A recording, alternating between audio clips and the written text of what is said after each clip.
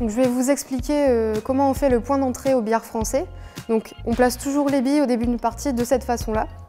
Donc avec la rouge au bout, la bille du joueur qui commence euh, juste à droite, donc la blanche, et la pointée au milieu. Donc on va venir toucher la rouge de ce côté-là pour faire une, deux, trois bandes et venir toucher la pointée en dernier. Donc on va se placer comme ça,